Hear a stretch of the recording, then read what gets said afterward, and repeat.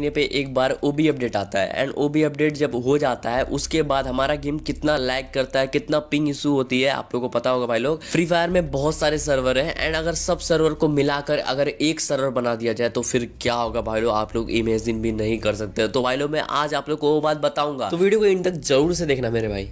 तो भाई आप लोग बैजेस तो जानते होंगे। देखो बैजेस सभी लोग जानते होंगे। एंड भाई लोग, पता है आप लोग को कि बैजेस कितने तरह के होते हैं? अभी आप लोग बोलते हो कैसी बात करता है। बैजेस जो इलाइट पास में मिलते हैं, वही बैजेस होते हैं। लेकिन नहीं मेरे भाई, आज मैं आप लोग को एक ऐसा बैजेस दिखाने वाला हूँ जो कि इलाइट पास के अंदर आया था, लेकिन वो इलाइट पास का नहीं था, लेकिन वो बैजेस ही था, ठीक है? अब आप लोग बहुत ज़्यादा कंफ्यूज हो गए होंगे तो भाई लोग वीडियो को इन तक ज़रूर देखना, क्योंकि ये चीज़ आप लोग को आज तक कोई भी नहीं बताया मेरे भाई। एंड गाइज़ कल मतलब मैंने लाइक टारगेट दिया था, नहीं पूरा हो पाया था बट कोई ना गाइस मुझे पूरा उम्मीद है कि आज आप लोग मेरा लाइक टारगेट पूरा करा दोगे मेरा भाई। प्लीज़ गाइज़ फिफ्टी के लाइक कर देना। आपके एक एक लाइक से गाइज़ मुझे बहुत ज़्यादा मोटिवेशन मिलती है तो प्लीज़ गाइज़ लाइक कर देना। एंड यार सब्सक्राइब कर दो मेरे भाई। यार, दबा दो, उसके ऊपर चढ़ जाओ सब्सक्राइब बटन के ऊपर, मुझे नहीं पता, लेकिन दबा दो, ठीक है? फैक्ट नंबर एट हमारे फ्री फायर में बहुत सारे इलाइट कैरेक्टर हैं like elite Kelly and elite Andrew जो कि बहुत सारे इलाइट कैरेक्टर आ चुके हैं, ठीक है? लेकिन भाई आप लोग को पता है नेक्स्ट इलाइट कैरेक्टर कौन सा हो सकता है? देखो, यहाँ पे मैं डेमसर कंफर्म नहीं हूँ, यहाँ पे बहुत सारे इलाइट कैरेक्टर आ सकते हैं। जैसे कि भाई, लोग देखो, यहाँ पे आपको बहुत सारे कैरेक्टर देखने को मिल जाएगा। जैसे कि भाई, लोग देख सकते हो, यहाँ पे कला कैरेक्टर है, इसको यूज़ लेते हैं सब लोग, ठीक है? इसका आने का बहुत कम उम्मीद है बट हाँ उम्मीद है बट बहुत ही कम है, ठीक है? कला इलाइट आ सकता है। एंड भाई देखो, यहाँ पे जोसेफ कैरेक्टर भी आ सकता है इलाइट कैरेक्टर में, क्योंकि जोसेफ कैरेक्टर को यूज़ करने वाले मतलब maximum zero point one percent लोग हैं, जिस, जो लोग टॉपअप नहीं करते हैं, जिनका फ़र्स्ट टॉप पे ही हुआ हुआ रहता है, वही लोग जोसेफ को यूज़ करते हैं, ठीक है?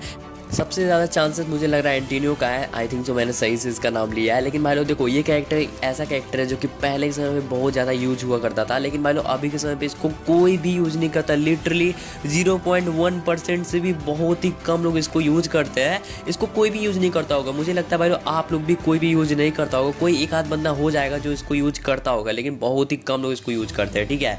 एंड धीरे धीरे, जितने भी पुराने पुराने कैरेक्टर है, जिसको कोई भी यूज़ नहीं करता, उसका इलाइट वर्जन आने वाला है। एंड इसका भी मुझे लगता है कि एंटीनो का इलाइट वर्जन आएगा। मुझे लगता है अपना ओपिनियन आप लोग कमेंट सेक्शन में बताना ज़रूर, ठीक है? फैक्ट नंबर सेवन हमारे फ्री फायर में बहुत ऐसे सामान है जिसका दाम घटाया गया है एंड बढ़ाया गया है। नाइन्टी ऐसा चीज़ है जिसका दाम जैसे पहले था एंड अभी भी वैसे ही है।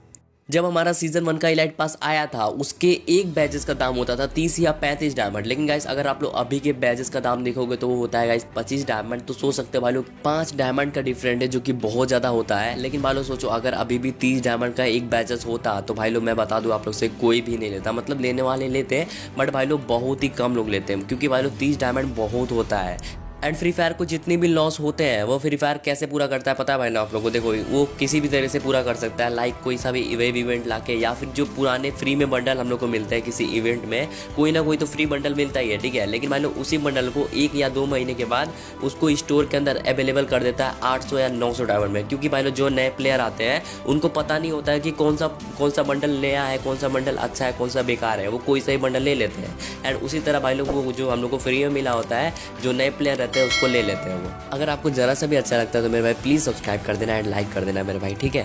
फैक्ट नंबर सिक्स हमारे फ्री फायर में बहुत ऐसी चीज़ें हैं जिसका बहुत ज़्यादा रोल है एंड अगर वो चीज़ ना रहे तो हम लोग का मन नहीं लगेगा फ्री फायर खेलने में, जैसे की गन स्किन या फिर ड्रैग लेकिन भाई लो ये सब कुछ चीज़ को छोड़ करके, एक ऐसी चीज़ है, अगर वो चीज़ अचानक से फ्री फायर से हटा दी गई तो भाई लोग बता दो आप लोग से 80 परसेंट फ्री फायर की ऑडियंस गेम खेलना छोड़ देगी 80 परसेंट, सच बता रहा हूँ। लेकिन भाई लो वो ऐसी चीज़ है, जो कि आप भी यूज़ करते हो, मैं भी यूज़ करता हूँ। उसका नाम है भाई लोग डिफ़ॉल्ट एम 90 परसेंट से ज़्यादा बंदे इसको खेलते हैं डिफ़ॉल्ट एम में, ठीक है? लेकिन भाई लोग अगर इसको हटा दिया गया तो वो लोग खेल ही नहीं पाएँगे, क्योंकि उनको आदत लग चुकी है डिफ़ॉल्ट एम की। इस वजह से भाई लोग डिफ़ॉल्ट एम कभी नहीं हटेगा फ्री फायर से।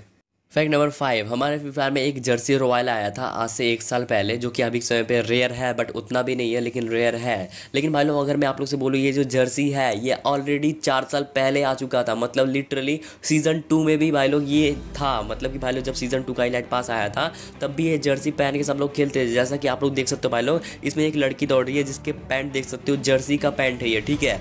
एंड ये पहले का है। इसी वजह से भाई लोग, जो हम लोग के गेम में बॉट आते हैं, उनके पास जर्सी होता है, ठीक है? जर्सी अभी के समय पे तो उनके पास एंजेलिक पैंट होता है।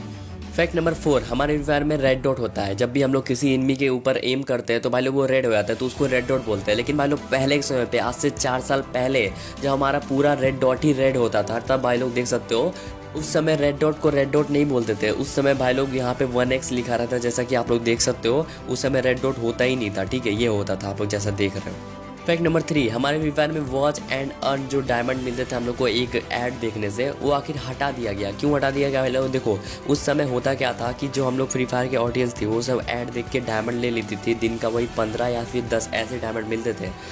फ्री फायर ने ये सिस्टम इसी वजह से लाया था ताकि उनकी ऑडियंस बढ़े मतलब कि उसके डाउनलोड्स बढ़े फ्री फायर के। एंड जब पब्लिक आ गई, उसके बाद उसको हटा दिया गया। क्योंकि भाई लोग, कोई सोचो, जब बहुत सारे लोग ऐड देखेंगे एंड डायमंड अर्न करेंगे तो कहीं ना कहीं गरीना का घाटा होगा इसमें।